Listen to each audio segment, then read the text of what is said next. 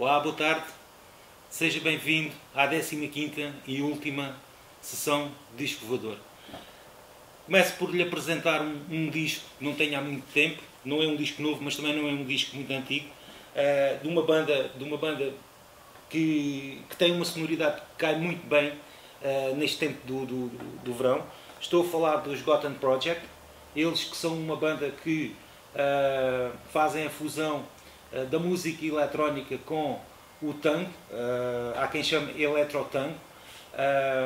esta banda gravou este álbum em dois momentos distintos, em duas, em duas digressões. Primeiro, na digressão do seu grande trabalho discográfico, que é o La Revancha del Tango, e depois na digressão do álbum Lunático. Portanto, é um disco que tem grandes momentos, porque a banda é verdadeiramente espetacular ao vivo e assume contornos diferenciadores em relação àquilo que é o normal nós, nós ouvirmos nas rádios e até mesmo, até mesmo na televisão. Portanto, os, os Gotham Project são uma banda que foi formada em 1999. eu não sei o nome dos artistas que, que, que, que deram início à banda, apenas sei que é um francês, é um suíço e é um argentino. E Paris foi o ponto de partida dos Gotham Project.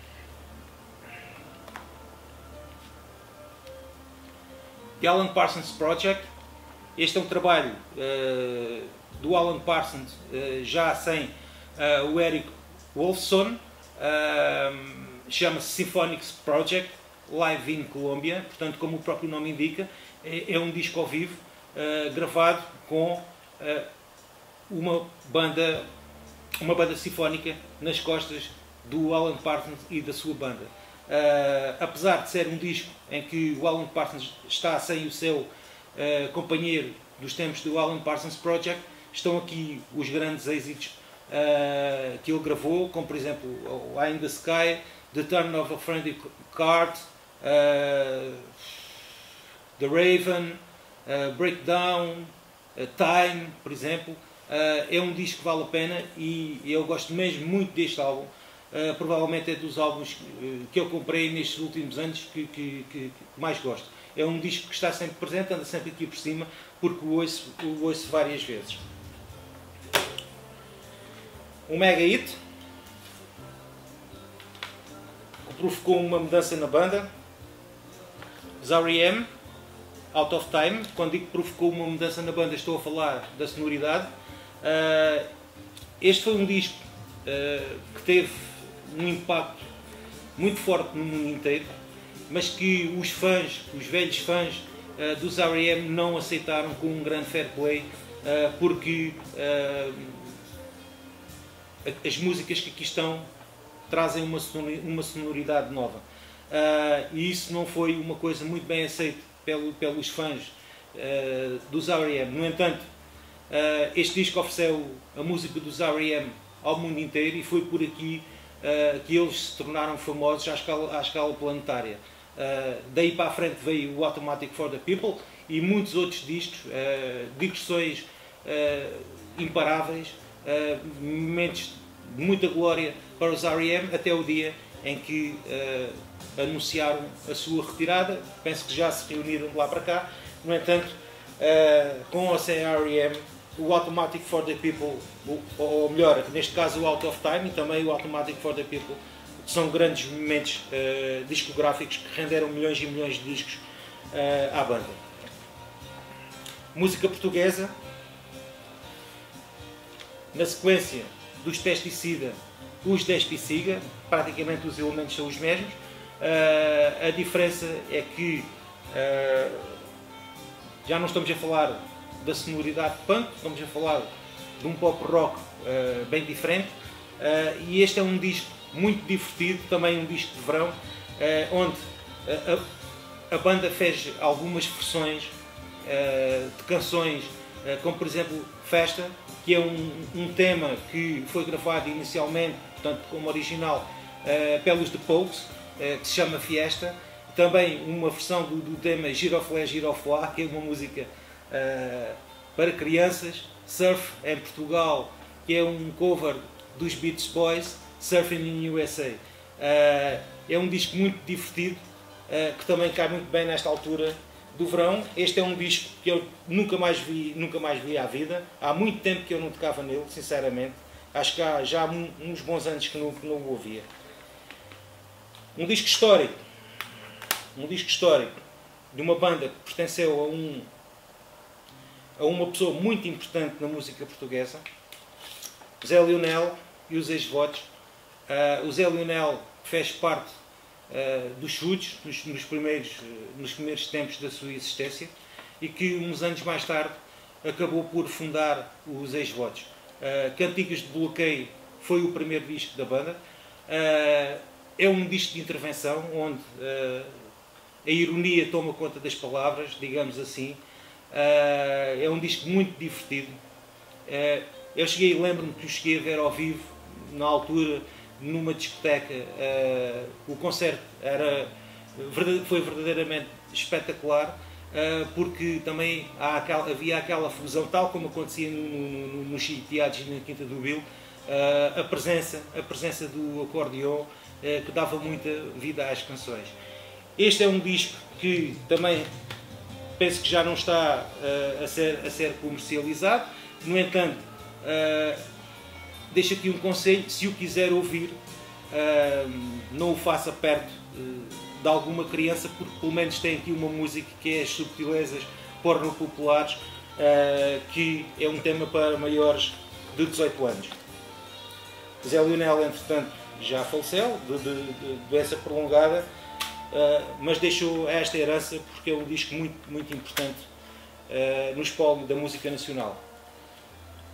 Outro disco e lembrei-me deste disco uh, porque teve uma edição recente em vinil, a Quinta do Bill, eles que fizeram Os Filhos da Nação no ano de 1994. Uh, eh, foi um boom, a canção Filhos da Nação foi, foi um boom, também foi um sucesso, assim como os Quinta do Bill durante anos a fio foram um grande sucesso nos palcos portugueses. Ainda hoje, com uma, uma, uma formação diferente, a Quinta do Bill continua a dar, a dar os, seus, eh, os, seus, os seus espetáculos. Portanto, se gosta deste disco e se gosta de vinil e se costuma comprar discos, pode agora encontrar este disco em formato vinil.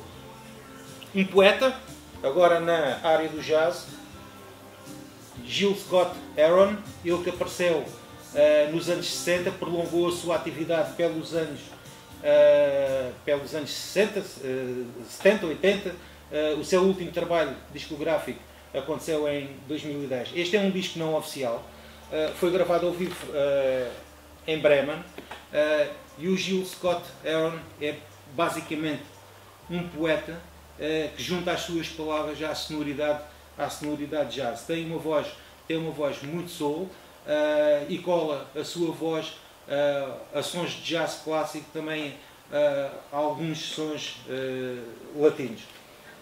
não, não conhecia, conhecia há, há uns anos.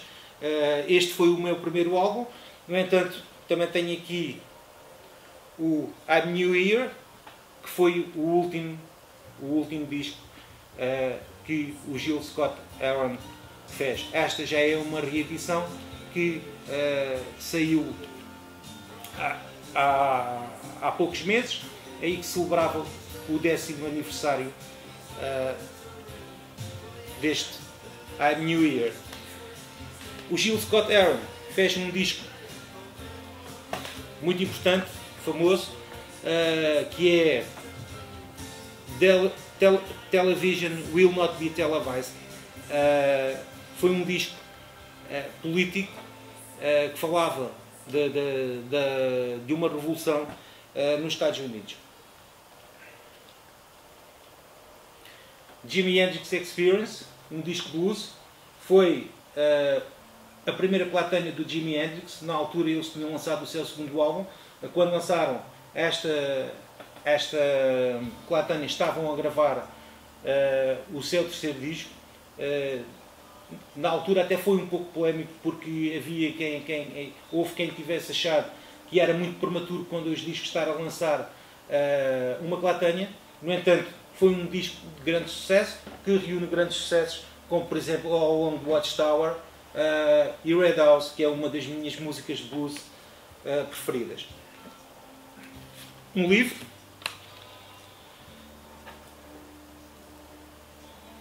Mil e um discos para ouvir antes de morrer.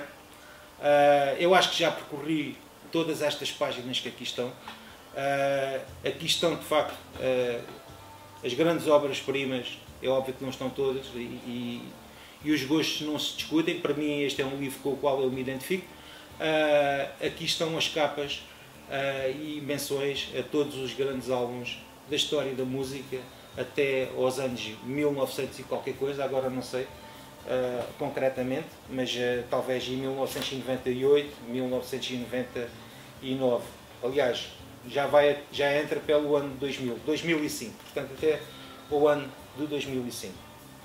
O último disco, o último disco uh, é o meu disco preferido, é aquilo que estamos a ouvir como música de, de fundo, é o meu disco preferido de álbuns de originais. há um disco que supõe a este, mas é um disco gravado ao vivo, curiosamente altamente ligado, altamente ligado a este disco. E estou a falar do álbum Love Over Gold dos Dire Straits. Este é um álbum de 1982. é um disco que trouxe uma, uma sonoridade nova aos Dire Straits. também um tipo de canção mais longa do que aquilo que aconteceu nos, dois, nos três primeiros álbuns da banda. De certa maneira já tinha acontecido com o tema Tunnel of Love do álbum Making Movies, dois anos antes. Uh, mas este disco uh, acabou por nos oferecer uh, ambientes musicais completamente diferentes daquilo que aconteceu até 1978, 79 e também em 1980. Aqui dentro estão algumas das minhas faixas preferidas de todos os tempos: Private Investigations e Telegraph Road, que é precisamente aquilo que estamos a ouvir agora aqui. Telegraph Road, como disse, é um dos, temas, um dos meus temas preferidos. Uh, o Mark Knopfler tocou pela última vez em Portugal no dia 30 de abril de uh, 2019, anunciou a sua retirada dos palcos e este tema Telegraph Road foi tocado pela última vez no palco, no palco de Lisboa. Portanto, uh, foi um momento verdadeiramente emocionante, mas uh, ficam cá estes discos porque para mim é verdadeiramente importante e faz parte da história da minha vida. Resta-me despedir. Uh, vou ter que fazer, com toda a naturalidade, alguns agradecimentos. Uh, não, não me esquecer de, de, de, ninguém. Uh, se me esquecer de alguém, peço já desde já, peço desde já desculpa. Em primeiro lugar, às minhas colegas do Gabinete de Comunicação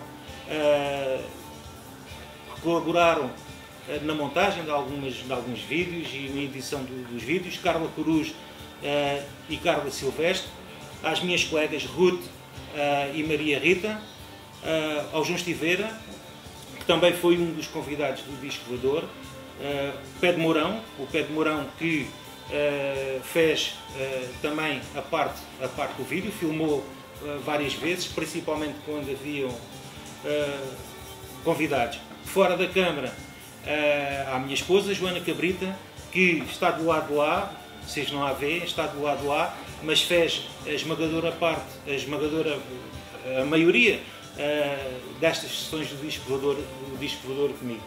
Uh, aos convidados, os convidados, o Pedro Garcia, ao João Estiveira, uh, ao Carlos Rocha, ao Pedro Batilotti e ao Miguel Gonçalves. Uh, foi uma viagem muito boa e muito positiva com eles, porque uh, com eles nada foi combinado. Nós simplesmente deixamos fluir. Uh, fizemos as coisas, nós encontramos, marcamos o dia, marcamos a hora, encontramos no teatro e as coisas aconteceram com toda a naturalidade, sem uh, que tivéssemos combinado uh, isto ou aquilo. Foi tudo muito espontâneo.